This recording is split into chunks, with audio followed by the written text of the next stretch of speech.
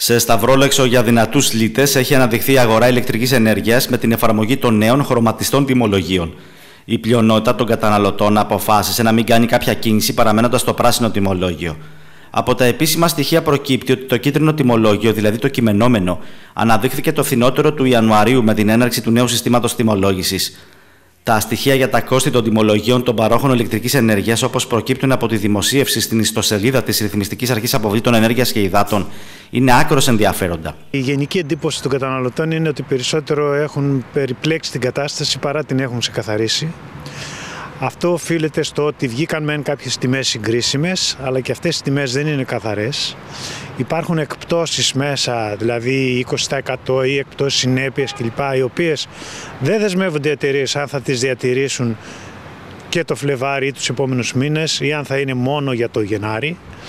Είδαμε ότι υπάρχει μια ε, εκστρατεία κυριολεκτικά διαφήμισης από όλες τις εταιρείες για να προσελκύσουν καταναλωτές από άλλες εταιρείες και γι' αυτό βάλαν και όλες αυτές τις εκπτώσεις, δώρα και διάφορα άλλα προνόμια ας πούμε, τα οποία όπως είπαμε δεν ξέρουμε αν θα ισχύουν για τους επόμενους μήνες. Εκείνο που πρέπει να πούμε εμείς ε, στους καταναλωτές είναι μάλλον να περιμένουμε λίγο ακόμη, να δούμε ε, όταν θα περάσει αυτή η περίοδος της ε, διαφήμισης και των προσφορών που θα κατασταλάξουν κατά κάποιο τρόπο οι τιμές για να μπορούμε σίγουρα πλέον να συγκρίνουμε και να αποφασίσουμε αν πρέπει να αλλάξουμε εταιρεία ή όχι διότι ο μέσος καταναλωτής όπως καταλαβαίνετε δεν είναι δυνατόν να αλλάζει κάθε μήνα εταιρεία. Θα το κάνει αν θα το κάνει μια φορά το χρόνο γιατί και η διαδικασία και τα δικαιολογητικά για αλλαγή εταιρείας δεν είναι απλά, είναι αρκετά σύνθετα. Ε, όσον αφορά τα χρώματα, τα διάφορα χρώματα. Οι παρατηρήσεις που έχουμε να κάνουμε είναι ότι με βάση την εμπειρία όπως τα είδαμε και εμείς. Το σταθερό δεν φαίνεται να είναι και τόσο σταθερό μια και υπάρχει στα ψηλά γράμματα ο όρος ότι σε περιπτώσεις μεγάλων ανατιμήσεων μπορεί να τροποποιηθεί μονομερό σε σύμβαση. Το πράσινο τιμολόγιο, όπως είπαμε, έχει αυτές τις εκπτώσεις, οι δεν ξέρουμε αν θα διατηρηθούν τους επόμενους μήνες.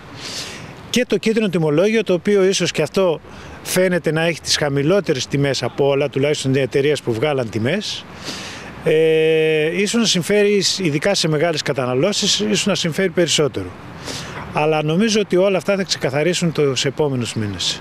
Με ανάρτησή του πάντως στο TikTok ο Πρωθυπουργός Κυριάκος Μητσοτάκης ανέφερε ότι το λανσάρισμα των χρωματιστών τιμολογίων βοήθησε στο να λειτουργήσει καλύτερα ο ανταγωνισμός στην αγορά ηλεκτρικής ενέργειας. Σύμφωνα με τις ανακοινώσεις των προμηθευτών ρεύματος για τον Ιανουάριο, τα πράσινα τιμολόγια ηλεκτρικής ενέργειας διαμορφώνονται από 14 έως 17 cents ανά κιλοβατόρα. Πέρα από το ανταγωνιστικό πράσινο τιμολόγιο, αρκετοί καταναλωτές επέλεξαν την ασφάλεια του μπλε σταθερού τιμολογίου. Λίγοι και τυχεροί όσοι έχουν έξυπνο μετρητή στο σπίτι τους και επέλεξαν έτσι το πορτοκαλί δυναμικό τιμολόγιο.